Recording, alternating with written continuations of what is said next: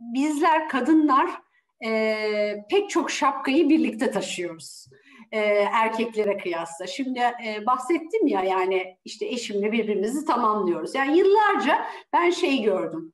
E, Murat e, kitap okuyorsa kitap okuyor. E, ben ise işte kitap okuyorsam ve aynı zamanda kapı çalıyorsa ve ocakta bir bir şey e, pişiyorsa üçünü de takip ediyorum. E, yani hep ilk başta eşime bir şey söylerdim. Ya nasıl duymuyorsun yani hani ben e, yani onu yaparken onu görüyorum ve diğerini duyuyorum. E, sen ise hani onu okuyorsun ve sadece oradasın. E, velhasıl e, yani bunun ben avantajlı yani tabii ki bunun e, zorlukları da olabilir ama bir kadınlar olarak bence bu kıymetimizi ve bu şeyimizi bilelim. Yani bizler biraz daha fazla e, multi proses, multi proses insanlarız. Yani eş zamanlı çünkü üretkeniz işte doğuruyoruz, kendimizi yeniliyoruz, adaptasyon kabiliyetimiz yüksek ve bu çerçevede de aslında bu bir değer ve bir kıymet. Bunu da bilmek lazım. Yani bunu cebimizde tutmak lazım.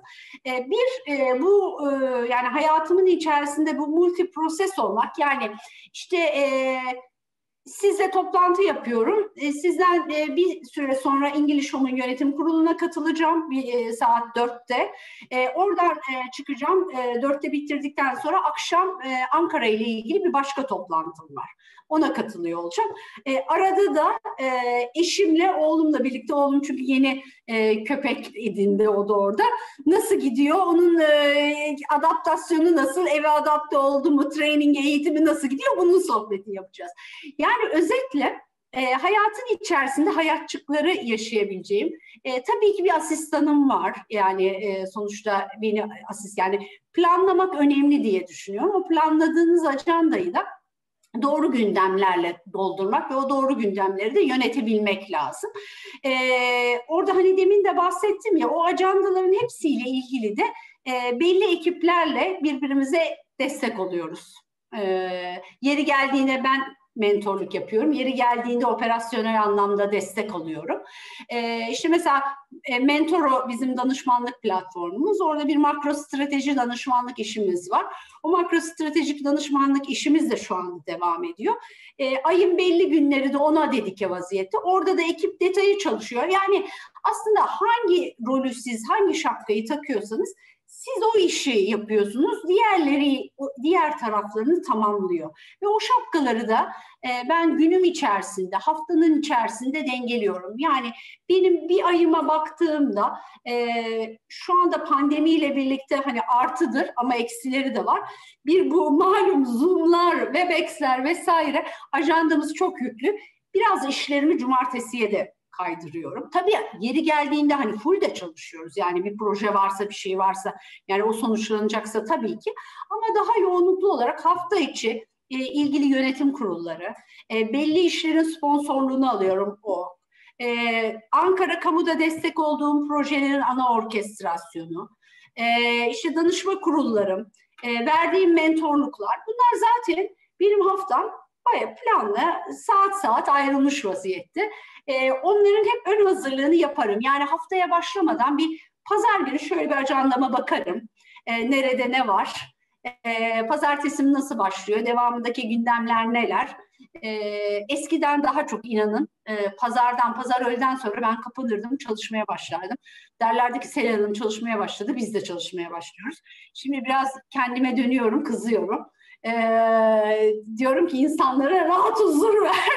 E, kendi planımı gene yapıyorum ama insanları daha çok pazartesi dokunmaya başlıyorum. Pazartesi sabah. E, yani var olan bir ajanda içerisinde bunu e, çeşitli şapkaları takarak e, ve oradaki e, gündemleri ve öncelikleri ajandanın içerisine alarak e, yönetiyorum. Her noktada da mesela e, mentorluk yapıyorum. Hep ben şey yaparım yani bu süreçten en nihayetinde ana amacımız ne? Neyle çıkmak istiyoruz? Hedefimiz ne? Oraya gideceğimiz noktalarda neler yapmamız lazım? E, onları böyle küçük küçük parçalara bölük. O parçalara e, gitme noktasındaki adımlarımız, adımlarımızda karşılıklı feedback alıp iyi gidiyoruz, gitmiyoruz. E, bunları sağlayıp ilerleyen bir e, tarzım ve yaklaşımım var. E, burada size şeyi de söyleyeyim. E, yani e, kadınlar olarak belli noktalarda da fazla mükemmelliyetçiyiz. Yani e, tamam e, erkek domine bir e, iş dünyası var toplamında.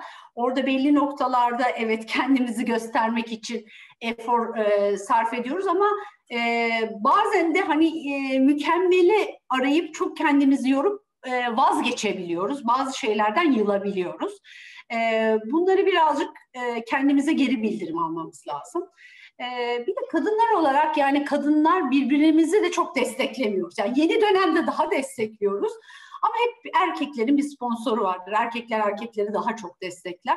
Yani birbirimizi sahiplenmeyi de öğrenmemiz lazım. İnanın ee, işte ben 2000'li yılların bir vadesinde Peryon'un ilk kadın başkanıydım İnsan Yönetim Derneği'nin.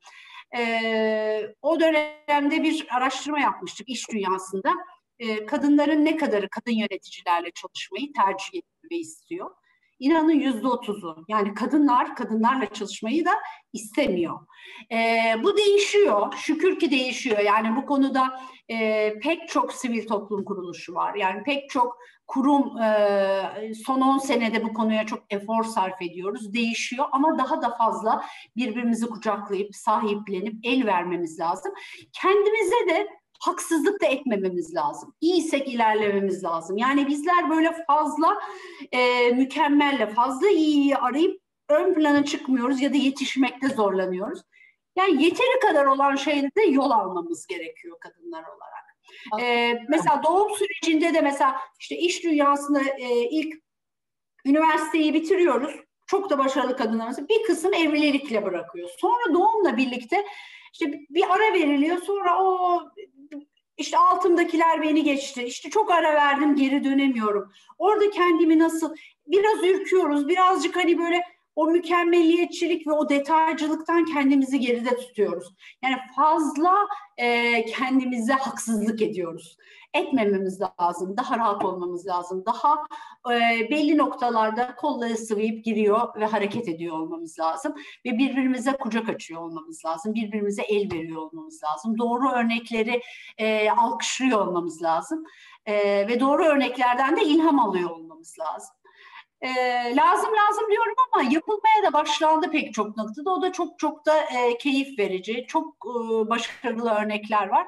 E, ve ülkemizin kadınlarına da baktığımda yani ilham veren o kadar hikaye var ki e, bu hikayeleri e, ne güzel e, paylaşarak ileriye taşımamız lazım diye düşünüyorum.